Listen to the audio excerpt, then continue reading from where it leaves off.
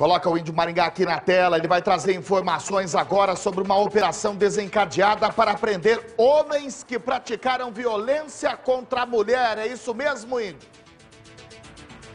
Exatamente, Eduardo Santos. É uma caça contra esses covardes que aproveitam da fragilidade das mulheres e acabam agredindo e muitas vezes cometendo feminicídio. Operação Cronos realizada em todo o país e aqui em Maringá, quem tem os detalhes é a delegada da mulher, Doutora, boa tarde. A senhora está ao vivo aqui no Tribuna da Massa com Eduardo Santos. Boa tarde. Uma operação que vem realmente para fazer justiça para as mulheres.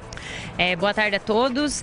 A Operação Cronos, ela visa cumprir uma instituição do Conselho é, Nacional dos Chefes de Polícia Civil de todo o Brasil e está sendo realizada também aqui no Paraná, em Maringá.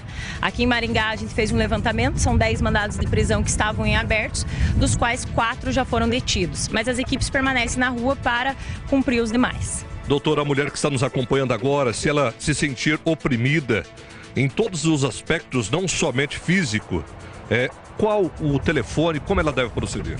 É, a mulher que sofra qualquer violência doméstica ou familiar, e é sempre bom ressaltar que a violência que não é somente a violência física, mas também psicológica, moral, patrimonial, sexual, pode procurar a delegacia da mulher lá na, na rua Júlio Meneghetti e aqui a nona subdivisão policial também para registrar essas ocorrências. Tá certo. Muito obrigado, doutora. Eduardo Santos, é com você.